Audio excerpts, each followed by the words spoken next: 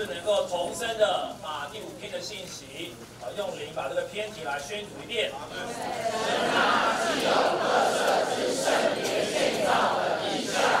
第五篇的信息是说到神啊极有特色之圣别建造的意象。啊，它的圣经节主要的引经是以西结书的第四十章到第四十二章。其实，在第一篇的信息里面，我们看到以西结主要分成四个段落。好，第一章是一一个段落，讲到神圣呃呃神荣耀显现的意象。从第二章到第三十二章又是一个段落，讲到神的审判。先从审判以色列，再来审判列国。从三十三章到三十九章还提到生命的恢复。末了就是这个段落，从第五篇开始，一路到第十二篇，乃是提到神圣别的建造。已经是从以西结的第四十章到第四十八章。所以，亲爱的弟兄姊妹，我们啊来到第五篇，可以说就来到这一次结晶读经主要的负担。主要的负担是要把我们带到这一个建造的意象里，并叫你我能够实际的有份这一个建造。是不是弟兄姊妹？我们同声啊，把第一个大点来宣读一下，来。神永远的定旨是要得着一个建造，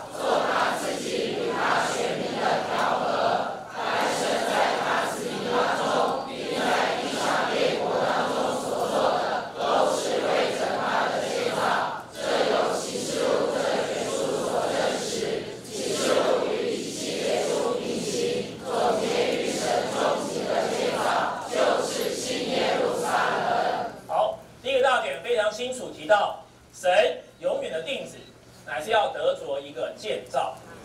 弟兄在信息一开始就给建造下了一个定义。什么是建造呢？神圣别的建造是三一神团体的彰显。建造跟神的彰显是连在一起的。在最后一篇信息里面，我们会看见，啊，当这个神的建造就是圣殿啊完成的时候，神的荣耀就回来了。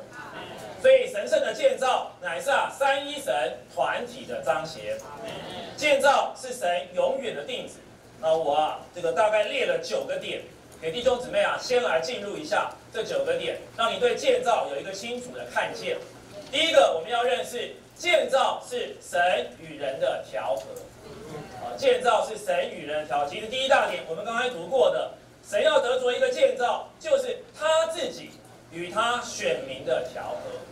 啊，所以换句话说，这个建造不是物质的，这个建造是属灵的，这个建造是神与他选民，就是与人的调和。这第一个点，第二个点，我们要看见整本圣经它有一个中心，还有主要的思想，这个思想就是建造。所以待会我们从啊这个信息里面会啊看到，在旧约有一条关于建造的线。同样的，在新约也有一条关于啊建造的线，可以说建造这个思想是贯穿了整本的圣经。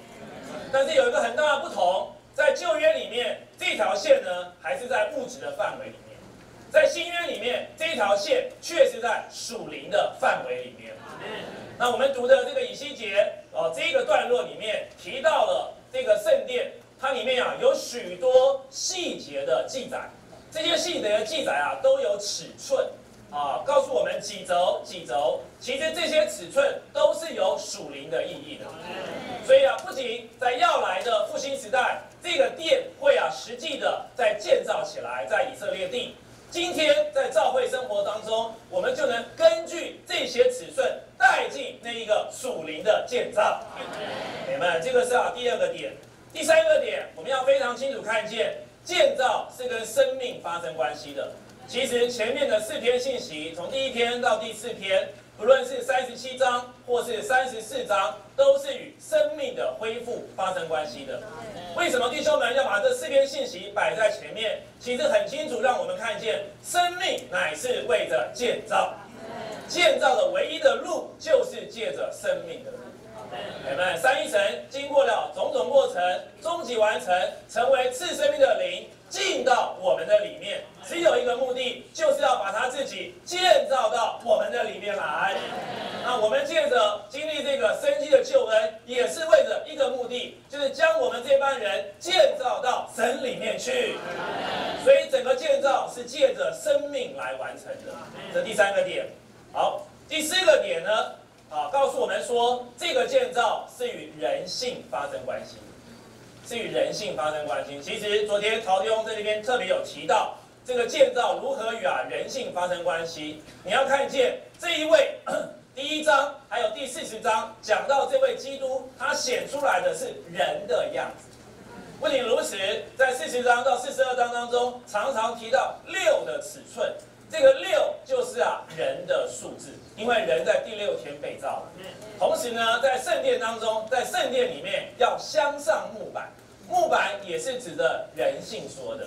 所以在这个点上，给我们清楚看见建造是与人性有关的。朋友们，好，第五个点呢，在关于以西结的意象当中提到了许多的细节，可以说以西结所看见的殿就是所罗门之殿的恢复。而且扩大啊？为什么扩大？因为它点出了很多的细节，这些细节乃是帮助我们在经历上，我们要来更多的经历基督。因为真正属灵的建造，乃是啊教会的建造，教会的建造乃是在于你我是一般啊经历基督的人。你们好，第六个点提到呢，这个在生命读经里又特别提到，整个圣殿的意象就是教会生活的一幅图画。整个圣殿的意象哈，不要只有领会这个是啊将来所要建造的一个物质的殿，整个圣殿的建造就是啊教会生活的一幅图画。它有几个点，第一个它是分别的，哦，它有四道墙，哦，所以它是分别的。第二个呢，它是进阶的，从啊这个外院，你要进到外院要有啊七层台阶，进到内院要有八层台阶，进到圣殿要有十层台阶。好，所以你越有份型的建造，其实啊，你就越升高。这说出呢，这个这个建造啊是进阶的。第三，你看整一个这个圣殿的图，你就会发现这个圣殿是对称，它是完全正直的，没有任何的弯曲。所以三个点，第一，它是分别的，进阶的，也是啊对称的。哎们，好，第七个点，其实我刚刚提过了，建造是三一神团体的彰显。啊，这个我们最后一天十二天还会再来提到。第八个点，李弟兄在这个以西结的意象这本书里面特别提到，啊，这个意象对于今天在主恢复的教会生活，呃，在主恢复中过教会生活的我们来说是特别关键，因为这个建造乃是在审判恢复之后的建造。今天我们所处的这个时代，就是在恢复的时代。对不对呢？教会堕落了，教会受了神的审判，教会得着恢复了。今天在恢复里的众教会，我们只有一个负担，就是建造基督的身体。所以啊，一系列的意象完全是对今天在主恢复里的我们来说的。末了一个点，也是弟兄特别提到的。好，为什么我们要看重这个建造呢？因为建造就是啊，神与人的调和，它有一个温度计。有一个指标，就是基督身体的一，啊，也就是呢同心合意。那我们认识了同心合意是开启新约中一切福分的万能钥匙，是不是呢？那如何能有同心合意呢？就需要你我被建造起来。我们越建造起来，我们就越有那个同心合意的光景。朋友们，好，我们来读一下这个第一终点哈，好不好？请用准备第一大点的第一终点来，所罗门。朋友们，朋友们，好，这个是第一个点，讲到所罗门建造殿被毁了。好，那这个殿呢，由啊这个被掳到巴比伦归回的人所重建。请用准备翻到后面三十六页。后来啊，这个殿就是所谓的第二圣殿，又由啊西律用四十六年建成的殿所顶替。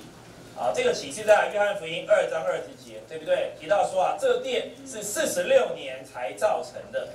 然后这个殿呢也被毁了，什么时候会毁呢？在西律啊，在这个殿啊，在主后七十年，啊，由提多率领的罗马军队所毁了。啊，这个呢就非常清楚的启示在但以理书九章二十六节，提到啊，必有一王的名来毁灭这城和圣所。主耶稣自己也讲，在马太福音二十四章二节，啊，门徒们提到殿，主耶稣说啊，我实在告诉你们，将来在这里绝没有一块石头啊留在石头上不被拆毁。那这一处的圣经节已经应验了，就是主后七十年，罗马太子率领啊军队，提多率军队来啊，就毁灭了耶路撒冷和圣殿。好，第三个点说，无论是以斯拉时代的殿，是希律时代的殿，都不是所罗门所建之殿充分的恢复。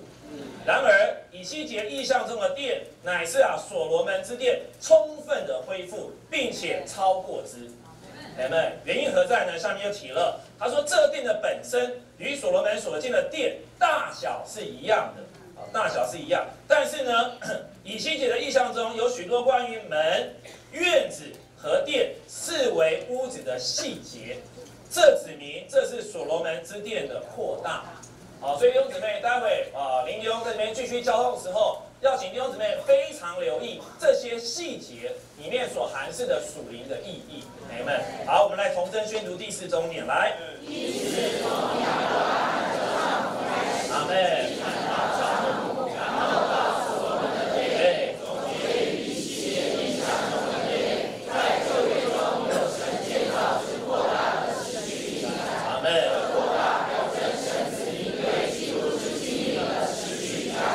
我想最后一句话是非常重要的，值得弟兄姊妹啊，这个把它画下来，我们再宣读一遍哈。这扩大表征神子民对基督之经历的持续加深。阿下面啊是有一个注解，在王上六章二节的注一，他提到这个帐幕，帐幕的尺寸啊，到了殿的时候就扩大了，不仅扩大了，器具的数量也变多了，唯独啊约柜是没有改变的。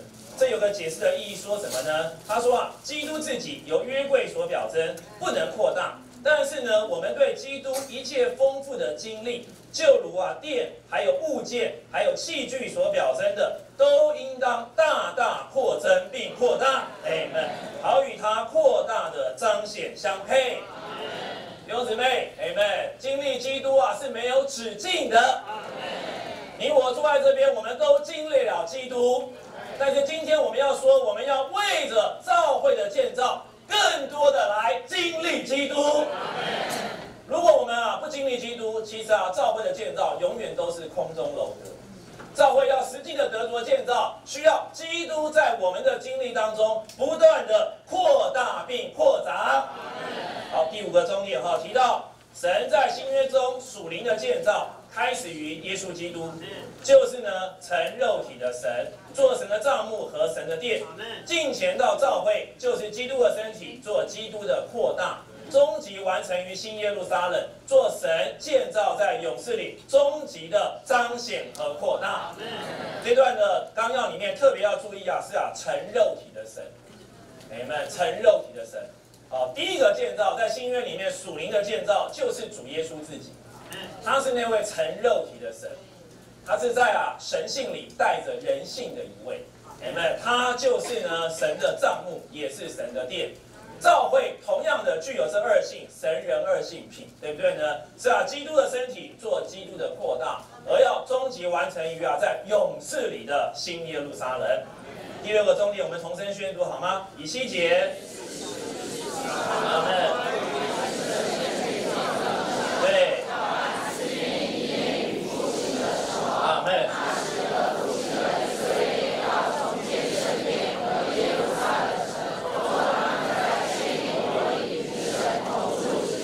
好，所以这座殿到底会不会啊？实际的建造呢？会的。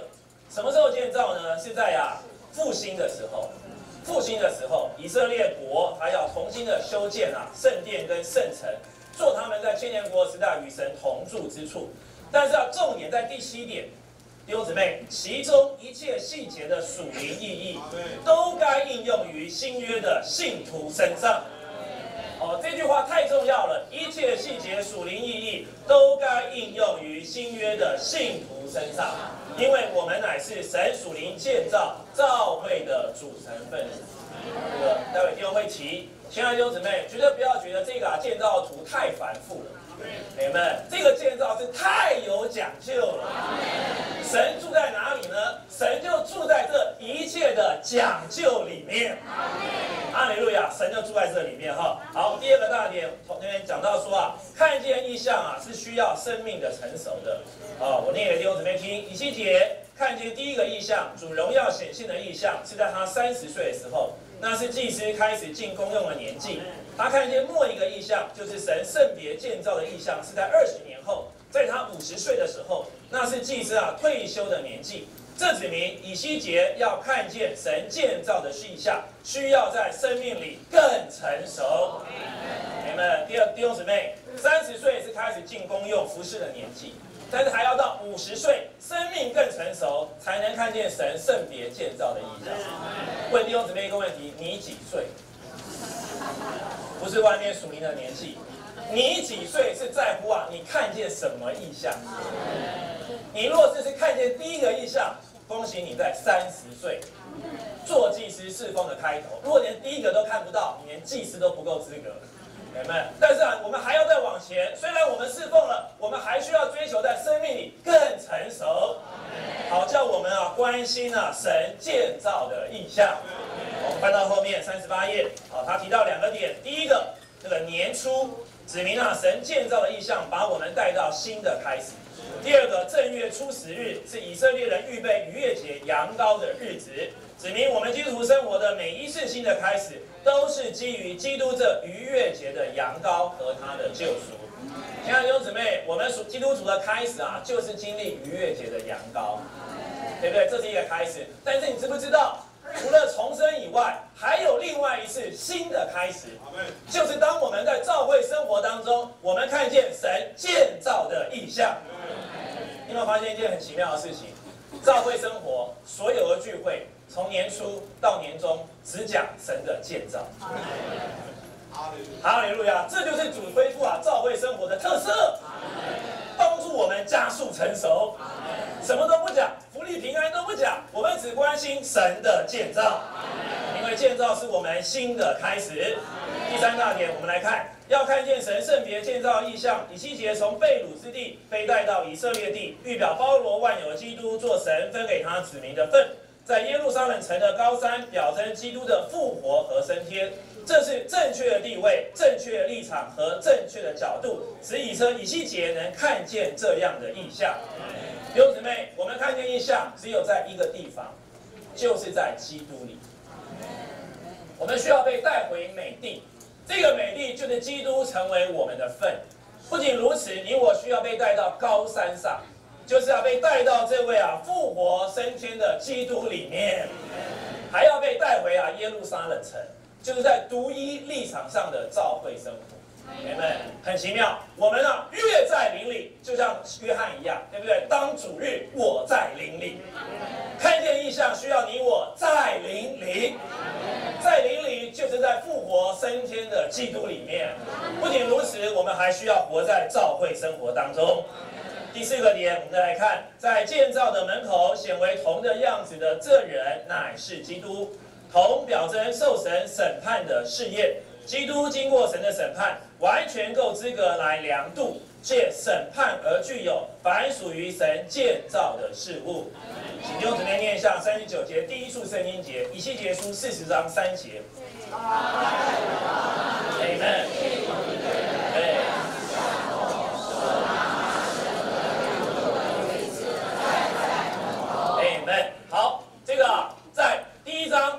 看到一位坐在宝座上的，对不对呢？他是啊，显出来一样是金银合金。但是啊，到了四十章三节的时候，他见有一人，其实这一人就是基督。他样子像铜，手拿着麻绳和梁柱的苇子，站在门口。这是什么意思呢？铜啊，在圣经当中是表征审判的。基督啊，被挂在十字架上，乃是作为那只铜蛇。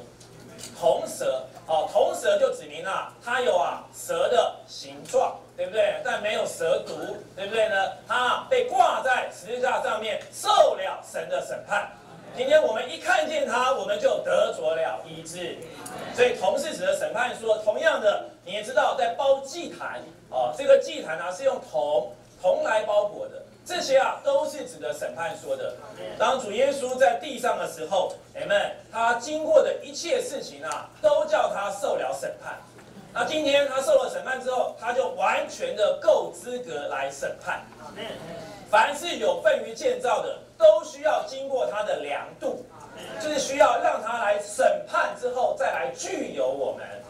弟兄姊妹，你我都有心为着神的建造，但你要知道，在神的建造里面，容不下任何天然的事物，天然的能力、天然的热心、天然的干才、天然的办法，都不是神所要的。凡是要有份于建造的，都需要让他这位同仁来量度我们。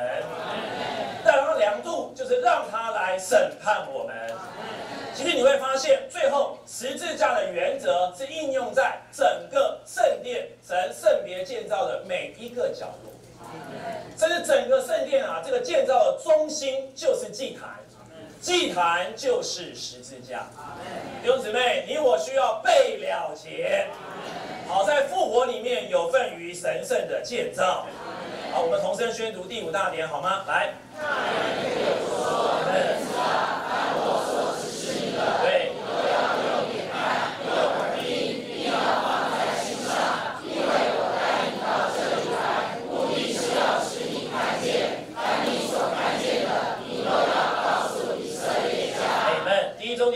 神只是以西结关于他建造的意象时，伸言者需要有敏锐的眼光，并要专心听。第二重点，他也必须把这些事放在心上，好吸收所要指示他的事。这样，凡他所看见、所听见的，他就能告诉神的百姓。哎们，待会到第六大点以后，就要进到这个建造细节啊。这个的确是啊，非常有讲究的。所以我们预备了一段影片，干嘛呢？叫你用眼看。好好看，朋友们。第二个呢，用耳听，他就有解说了要用耳听。第三个要放在心上，看一次绝对不会懂的，朋友们，回去要好好的思想思想，把圣经拿出来，再好好的研读研读，朋友们，好让我们啊放在心上。干嘛呢？要叫我们告诉以色列家，好不好？叫我们以后啊，每一次为主说话，我们的题目都变了。不要讲那些神奇的事，不要讲那些病得医治的事，不要讲那些车祸没有被撞死的事情。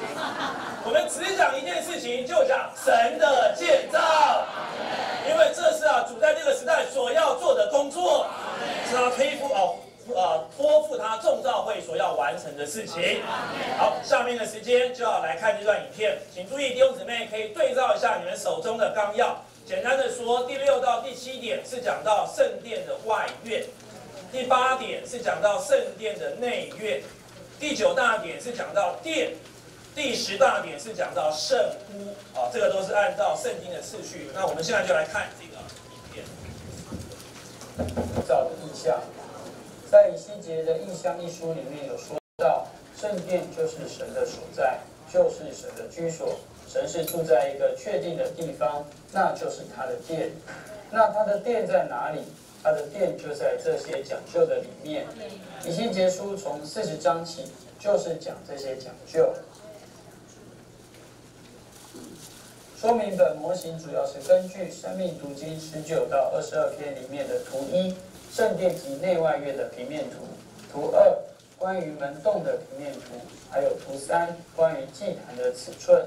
以及图四关于圣殿的平面图所绘制而成的。首先，我们从纲要的第六大点来看，五节开始讲到墙，它的厚和高都是一尾，那一尾就是六轴。再来是第七大点，说到门洞分为四个部分，最外面是过道，再来是通道，以及里面的过道和门廊。六节说到外面的过道，其深一尾。七节讲到卫房。每房长宽都是一尾，每间卫房相隔五轴，里面的过道宽是一尾。八节里面的门廊横宽是一尾，纵宽八轴，廊子的墙柱柱面是阔两轴。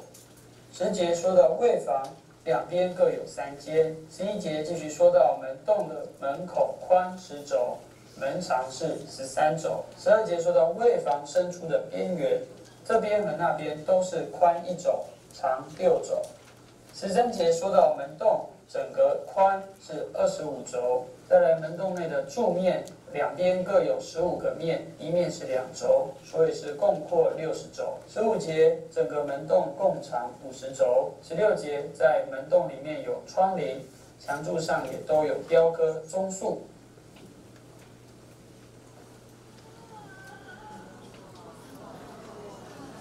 穿过门洞进到外院，十七节说到在外院的周围有铺石地。铺石地上有屋子三十间，十八节接着说到铺石地的宽度与门洞的长度相同。要到四十六章，看到外院的四个拐角各有一个院子，院子的尺寸是长四十轴，宽三十轴，其功能是用来煮肉的地方。再来十九节说到外院的门洞与内院的门洞距离宽一百轴。再来二十节到二十三节是两外院朝北的门，尺寸和刚刚所看到朝东的门相同。接下去二十四到二十七节是两朝南的门。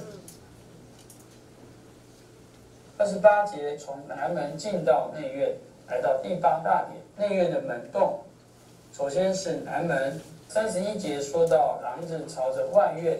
并且内院的高度比外院高了八个台阶。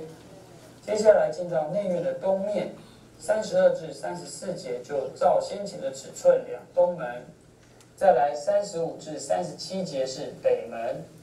到了三十八节有提到洗凡祭生的屋子，根据纲要看见，可能是在门洞里。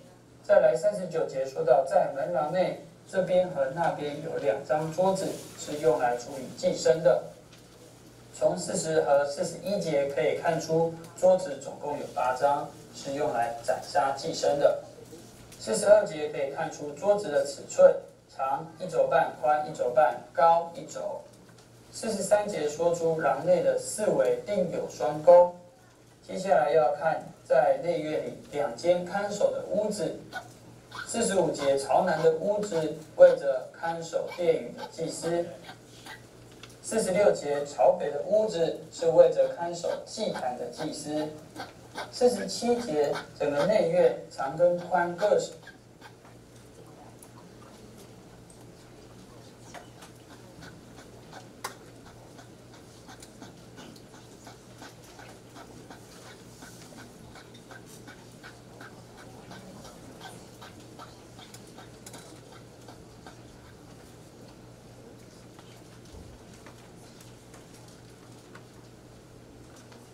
节朝北的屋子是为着看守祭坛的祭司。四十七节整个内院长跟宽各是一百轴见方，并且祭坛是在殿的前面。再来是第九大点，说到殿的部分。四十八节说到殿前的廊子门宽是十四轴。四十九节提到殿的高度比内院再高十个台阶。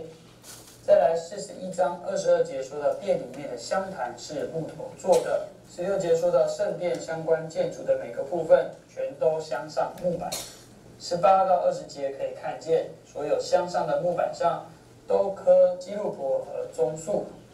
继续来看与殿相关的尺寸，外面廊子的墙柱厚五轴，门两旁都另加三轴。四十九节廊子的长是二十轴，宽十二轴。四十一章一节来到外殿的门口，墙柱是后六轴。二节外殿的门口宽十轴，门的两旁是各五轴。整个外殿是长四十轴，宽二十轴。接下来量内殿的墙柱后两轴，而内殿的门口是宽六轴，所以是越来越窄的。再来内殿也是至圣所。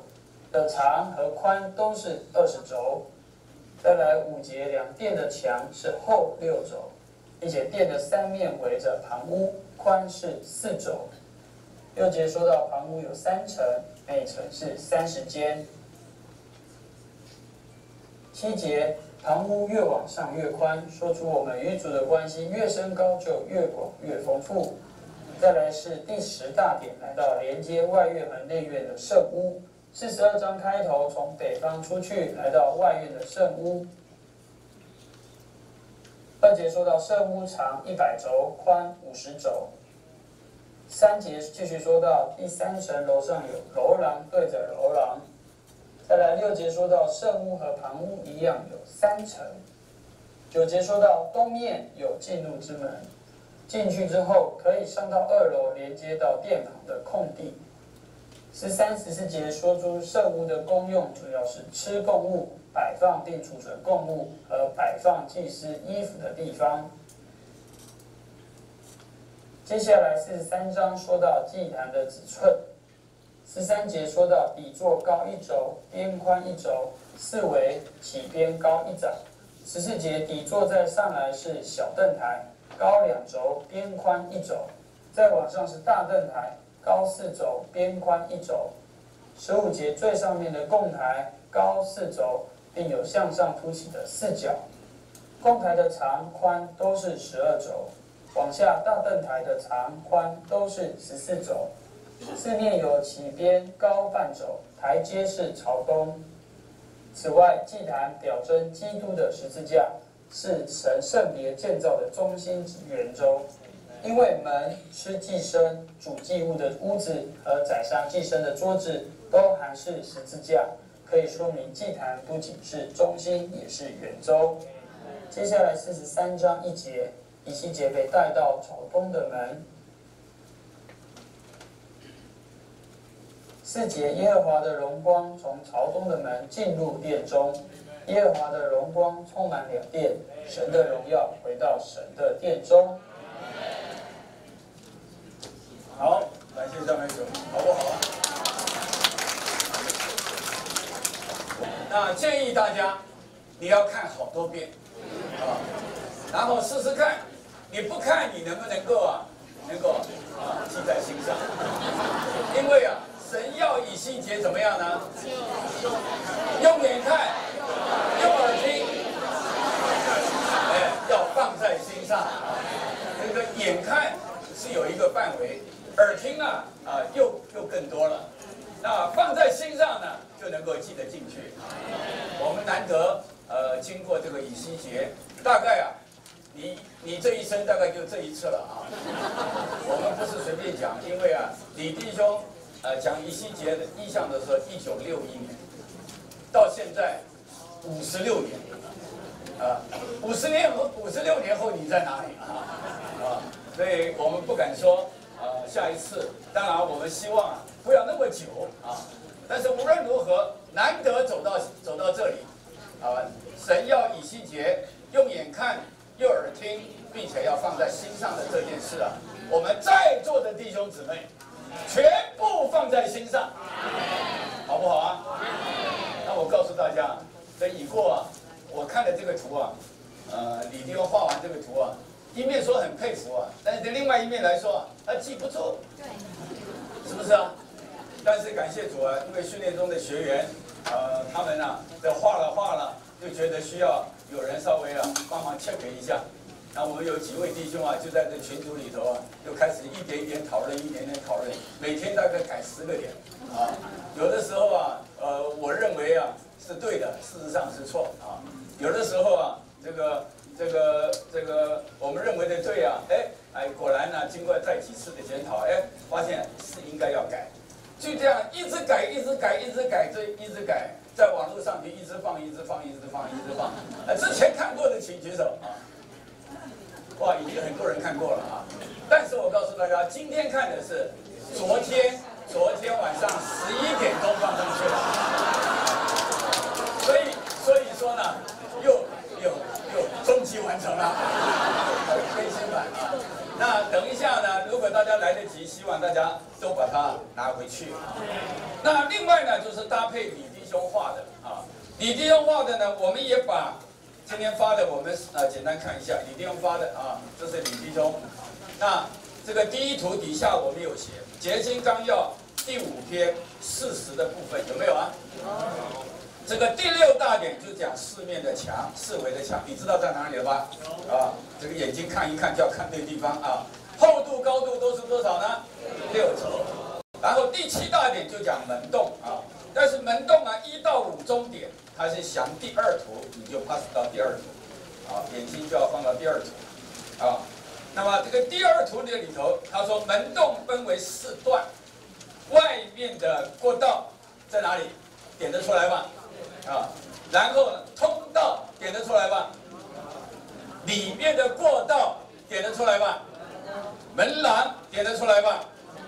然后门洞两旁有几间卫房啊？啊，每边是三间啊。然后每一间的尺寸呢？六轴见方。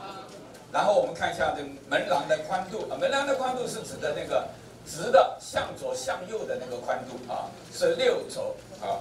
然后长度呢是八轴啊，看到地方了吧？再看这个门的入口，从呃最底下，呃门的入口宽是多少呢？十轴。然后门的墙柱上，什么地方是墙柱呢？就写阿拉伯数字的一二三四五六七八九十十一十二十三十四十五啊，这个地方是墙柱。墙柱啊，呃一边是有十五个墙柱，但另外一边也有十五个墙柱，那一共是三十个墙柱。那每个墙柱呢，呃是两轴，所以呢就是六十轴。啊，那墙柱上都刻有这都有这个中数啊。刚才我们的图啊已经画给大家。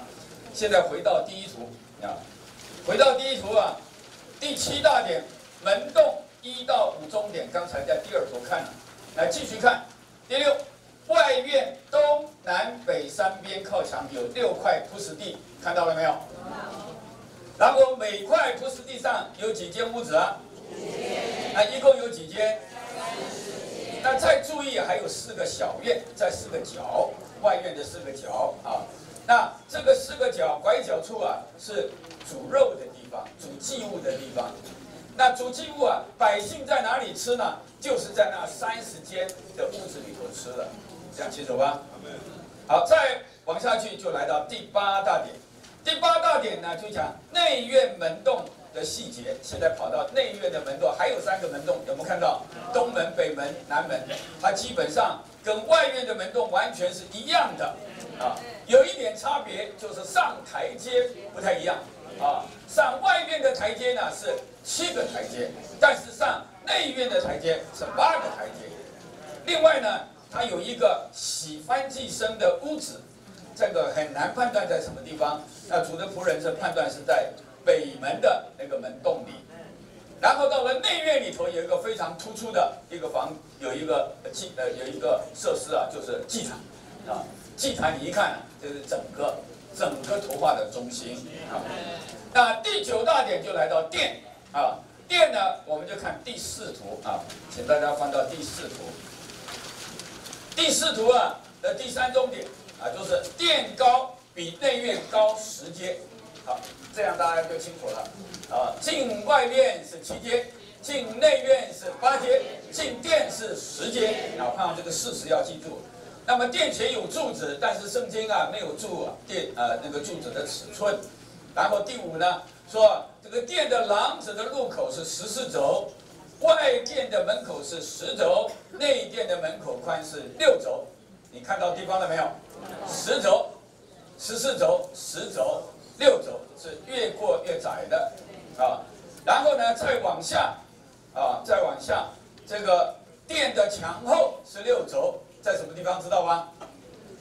啊，殿的墙后，啊，你们左右两边呢，两个人点一下啊，就是围绕着殿的殿的墙后啊，是六轴啊，六轴，然后呢再往下，啊，殿是有旁屋的。哦，旁屋啊，上上面写的旁屋，旁屋有几间呢？每一层有三十间，有几层啊？那越上它就越宽啊，这个要记住的。然后另外第九，我们就要留意殿的相关部分全都镶上木板，而且木板上都雕刻了基路伯和棕树，其中基路伯只有两个脸，有人的脸，还有狮子的脸。每个基每二基路伯中间有一棵棕树。那另外要留意的就是香坛，在香坛，我们也看到香坛了没有？很特别，是神给以西结看到的香坛，也是那个桌子。我们知道啊，进到这个这个这个呃圣所的时候啊，应该是有陈设品的桌子，有金灯台，还有香坛。这边提到香坛就是桌子，桌子也就是香坛，这个要大家记得啊。然后第十二说到殿呢是有门的，殿的门呢是是有两两两两扇，那每扇都是折门，折门啊，这个圣经明写的。然后第十三是讲到门廊，特别是讲到门廊那个那个窗的旁边的墙上呢是刻有这个棕树的，也就是棕树雕刻在窗旁的墙上啊，这个就是这个第九大点啊。所交代的，然后回头还是第一图啊，第一图就来到第十圣屋，圣屋在哪里呢？啊，在在那个是连着内院和外院的啊。对于内院来说是圣屋的第二层，对着外院来说是圣屋的第一层，这样清楚吗？啊，看听得懂我讲话意思没有？它是连着内院和外院的啊。那这个的特点是啊。祭司啊，不可以从那个北门呐、南门呐、东门呐出去的，因为他穿的是穿的那个祭司袍，他需要从内院进圣屋，然后换下祭司袍来摆放这个圣屋是摆放祭司袍的地方，他然后从那里出去。呃，进来的时候也是一样，他要进到这里头穿祭司袍，然后上二楼，然后从啊这个这个呃内院进来。啊，这样听得懂吗？啊，这里是他们吃祭物的地方，也是啊摆放祭司袍的地方。那这样就是呃，这个我们就讲完了啊。所以这篇信息啊，先把事实搞清楚啊。那你回家啊，你要安静下来啊。从啊从外院先开始，有墙开始，你慢慢想，你能不能够啊这个不要看，你能够全部都。想得清清楚楚啊！我给大家挑战一周时间，好吧？一周时间，你努力做这事，难得就这时候了啊！就这时候了啊！神要以心结做的，我们今天就可以做。好，现在我们来看啊，这纲要非常长啊，所以很多都是念的就好了啊。现在请大家翻到第三十九页，三十九页啊，我来念啊。请大家您要跟得上啊！殿四围的墙是为了分别，将属于神的和不该属于神的分开。神啊，是殿是有分别的，也可以说你要进到这个神的建造里，你首先要留意是有墙的，我属于神的，你都不可以带进来啊。第一，墙的厚度和高度都是六轴，因此墙的截面前面是六轴见方。六这个数字表征第六日所造的被造的人，因此墙有一个六轴见方的截面，表征基督自己是正直、完全并完整的人。这样的一位基督是神建造的分别线，只有被包含在基督里面的，才属于神的权益和神的建造。我稍微点一下，很多人就说为什么六要解解释成人？啊，有人就问为什么啊？为什么？为什么？很简单，解释圣经啊。不能够凭着天然的观念、天然的看法来解，你必须照着神的经纶来解。神在做什么？神为什么这样做？你如果不懂神的计划，你是无法解释圣经的。否则你解的圣经啊，跟神的建造一点关系都没有，是不是呢？啊，这个我们盼望大家留意啊。你看圣经节明讲，以弗所二章二十一节。说到在它里面全方连接一起，怎样呢？长成在主里的圣殿是在主里的，怎么会在主里？是有墙的。亲爱的弟兄姊妹啊，当你我来过召回生活，你要知道是有墙的。啊，甚至我要说，你进到会所，你要知道是有墙的。哎，不是看我们三会所的墙啊，你要知道是有墙的。天堂不能进来，肉体不能进来，世界不能进来。啊，大家阿门吧。你过照为生活，参加小牌是有墙的，不是要你来到这里是没有墙的。在这里啊，高谈阔论世呃世界局势啊，谈到今天的事，这个这个这个什么游行啊，呃，这里不是讲这个地方，有没有墙呢？本来就有墙，但是你有没有墙呢？就看你讲什么。哎们，实在很重要啊。我们今天讲这些啊，不是来不是来讲道理的啊。然后第七大点，门啊，不仅有墙，它是有门，它是有入口的。没有入口，我们都是被挡在外面，是不是？它是有入口的啊。门指门洞分为四段，外面的过道、通道，里面的过道和门廊。第一，门是神建造的入口，表征基督是我们进入神里面、进入神的权益、神的建造和神的国的门路。墙把罪人和神分开，但门呢？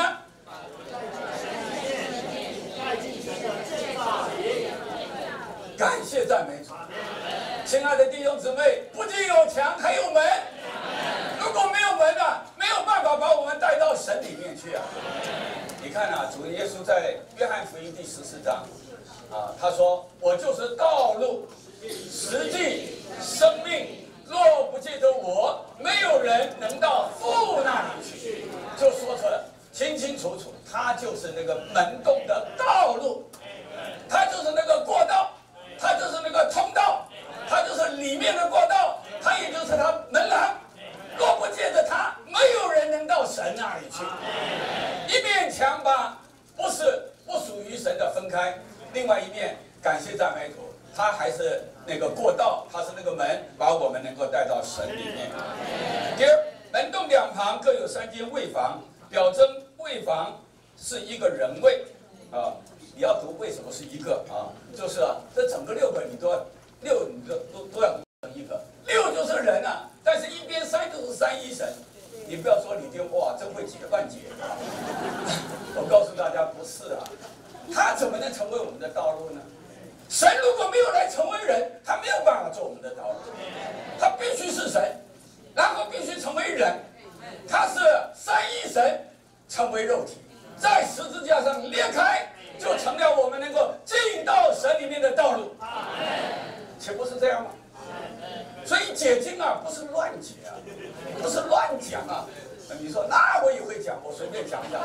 我告诉不啊，你如果不懂在神的经文里，神真的有一天来成为人，他借着定十字架，你看那门徒们呐，因着主说，呃，对彼得说，今今今夜你你要三次不认我，啊，门徒们都很都很这个心里都。呃，很很焦虑啊，都很为难啊。呃呃，主耶稣说：“你们不要担忧。”对对。啊，在我父的家里有许多住处。他不是讲天堂啊，他是讲那个殿，他是讲我们要进到神里面。若不借着我，没有人能进到父那里去。他要借着在十字架上裂开，这一三一神成为人，在十字架上裂开，就成了我们能够进到神里面的道路。我告诉大家，这个解经解到家了，你们阿门吗？啊，你会不会讲啊？你不会讲，要学着讲，不要学那个乱讲圣经的，要学的正解圣经的。你为什么这样解？都把它讲得清清楚楚。再往下。啊，六间卫房，每间都是六轴见方，因此与墙的截面尺寸相同。这指明主耶稣在他的人位和工作上是神的荣耀和是圣别的保卫。借着经过基督正门，我们就有资格进入满了他荣耀和圣约的建造里。第三，门廊宽度是六轴，六这个数字表征第六日被造的人。门廊的长度是八轴。八这个数字表征基督的复活发生在新的七日的第一日，乃是新的起头。第一小点一同读。这些是表征主耶稣的人作为神建造的，完全是在复活里。第二。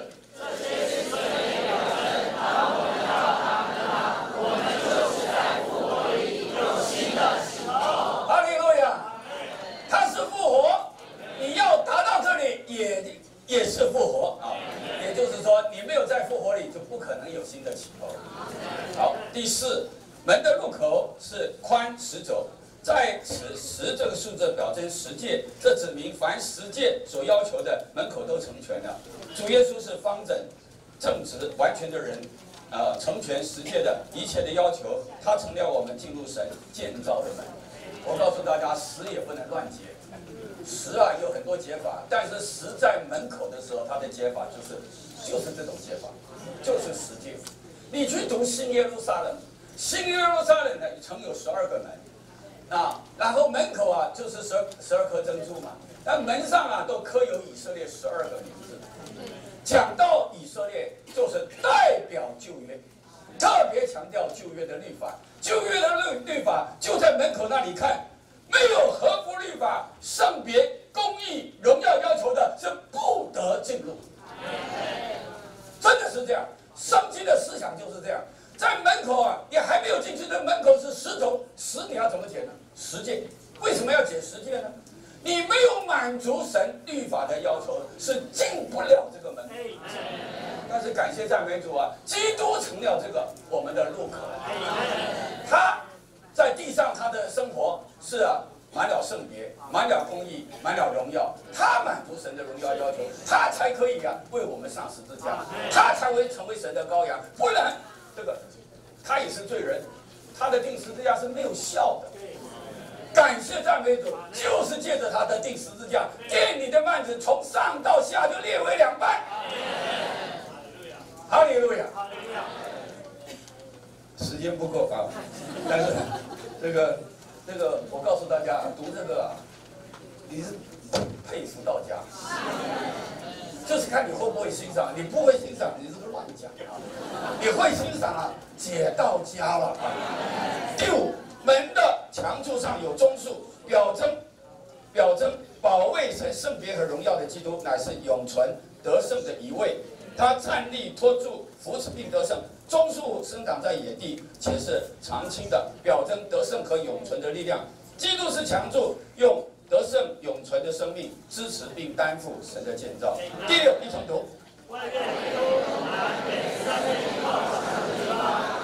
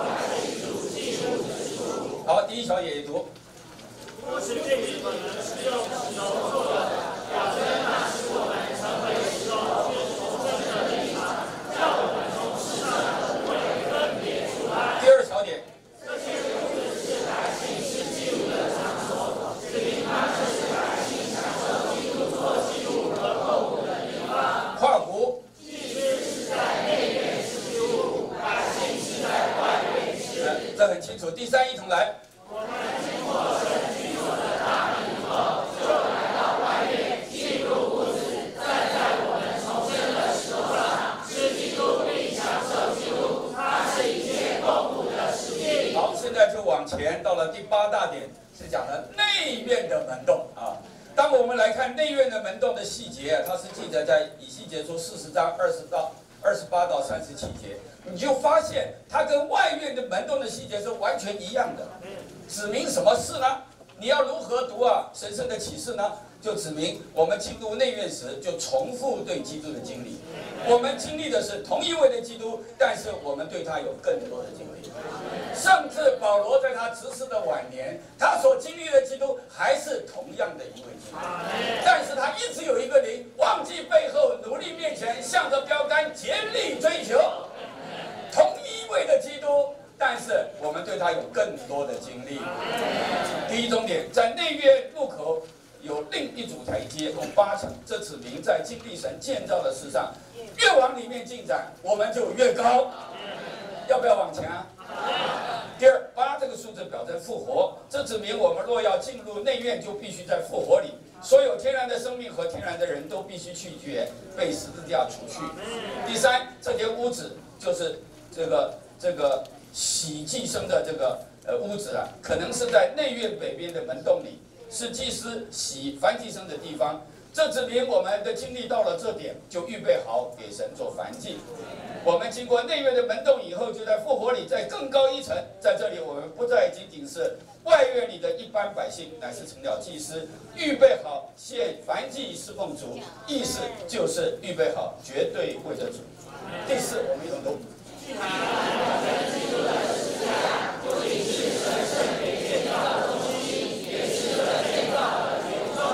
是中心啊，不用讲，你看那个图画的就是整整中心，啊，然后呢，它也是圆周，为什么是圆周呢？底下有图，第一门吃寄生，主祭物的屋子和宰杀寄生的桌子都含是十字架，因此十字架扩展到四方，到神建造的每个角落。我们若要在神的殿里接触它，并享受它的丰富，怎样呢？好，第二小点一同读。对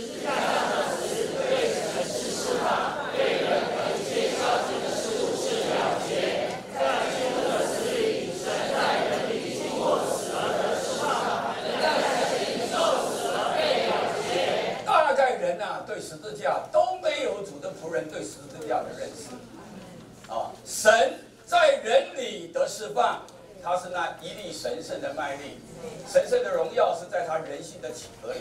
当他定十字架上时候，就等于神圣的体核裂开，在他里面神圣的生命就借着那个死啊释放出来。对于神来说，神在人里的释放。神圣的生命借着基督的定十字架释放了出来，但是对人来说呢，啊，这个人啊就在神里啊，啊，就是全数了结。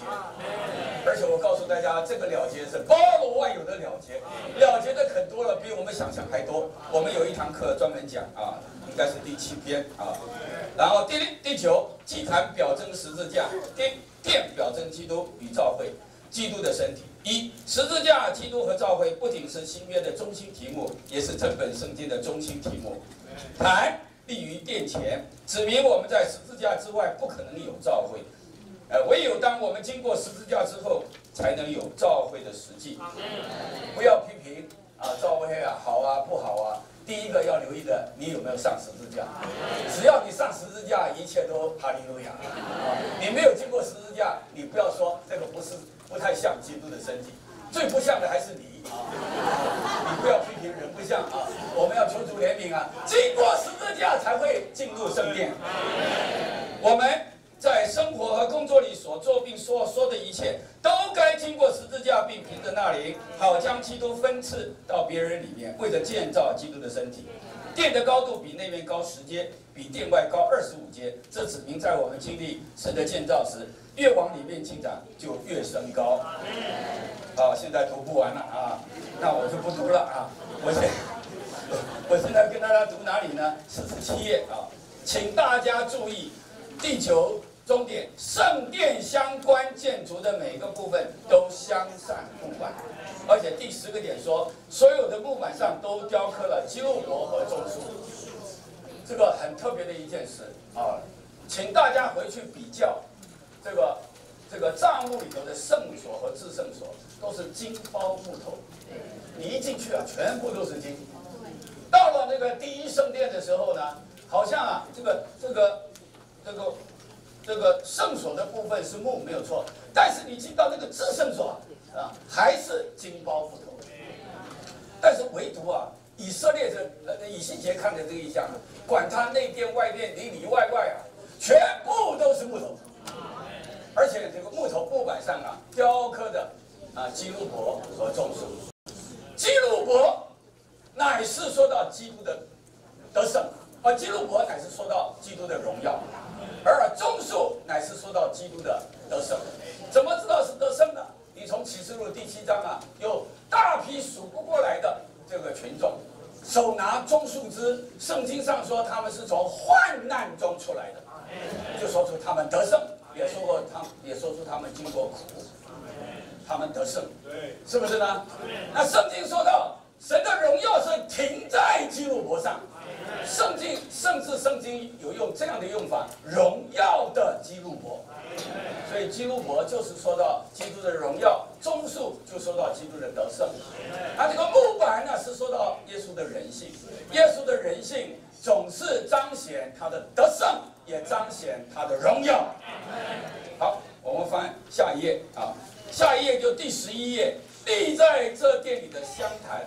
单单是木头做的，表征耶稣的人性。在帐幕和圣殿里都有香坛和陈设品的桌子，但在以西结书这里，坛就是桌子。我们有列一节圣经，呃，以西结四十一章二十二节，有没有注意到？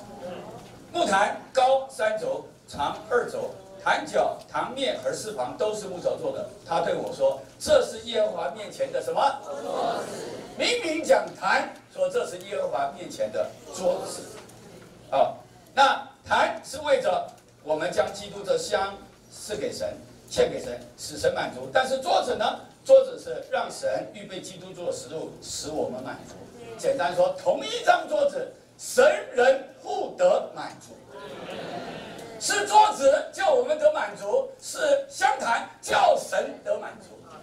感谢赞美主，我们要来到这个香坛又是桌子的地方，神在这里要要享受我们，我们在这里也要享受神，神人互得满足。最后第十大点，圣屋位在位于啊北面和南面，是连接内院和外院的屋子，在外院。呃，铺石地上的屋子是百姓吃祭物的地方啊。然而圣屋呢，是祭司啊吃祭物并摆放工厂、这个储藏供物的地方，也是他们摆放祭司衣服之处啊。供物表征基督做我们的享受，但是祭司祭司的衣服衣服啊，表征啊基督做我们的彰显。在圣屋里，因为它有三层啊，我们达到属灵经历的最高峰。为什么呢？因为在圣屋里的生活就是在基督里的生活。生活在圣屋里，我们吃基督，啊，吃基吃购物就是吃基督，穿上圣衣就是穿戴基督，使他啊得彰显。圣屋和旁屋都一样，都有三层，指明圣屋与基督的丰满彰显相符。即使享受基督到一个地步，他们的圣屋和基督丰丰满是一样高。我告诉大家，在圣经里启示的清清楚楚。我们要建造神的家，正建造神的居所，直达到这个信仰的一啊，达到长成的人，达到基督丰满身材的度量。我们吃基督，然后呢，我们就慢慢长大，是不是呢？衣服是指的它的彰显，是外在就显出呃显出基督。我告诉大家，在神的经纶里，就是在做这件事。一幅图画，千言万语。时间很很短，讲不清楚啊。那请大家回去花时间，怎么样？用眼看，用耳听，放在心上。一生我们被神的建造定住，留在神的家中，留在神的建造里，让神的经纶达到终极的完成。